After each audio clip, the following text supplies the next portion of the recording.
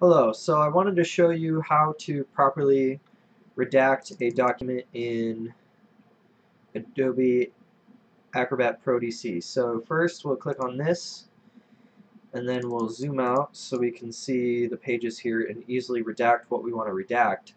So basically this is going to help you remove what you want to remove in Adobe Pro DC. So you go on, you'll um, click on Tools and then redact.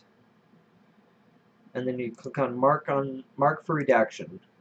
So if you want to just do a certain portion of things like say you want to get rid of everything in the document that's from there to there to get rid of all these weird page numbers then you click apply but before you do that go on properties because you'll want to change the fill color from black to none because um, it'll then it'll just get rid of it. So then you'll also want to right click here and you'll want to click on repeat mark across all pages.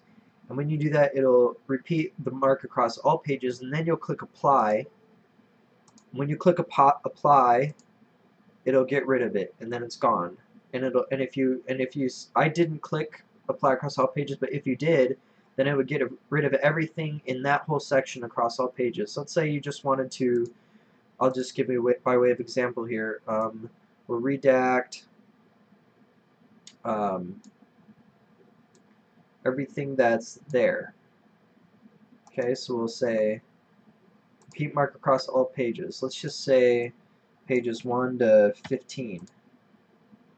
So now it's on all those pages. You right click on it, or you don't have to right click anymore. Now you just click apply. Yes. No. Boom. It's all gone. Everything in, in that part of each page is now gone. So yeah, I think this is a cool feature and it's definitely helpful to know if you're ever working with large documents um, or anything else like that. So this is the redact feature in Adobe Pro DC.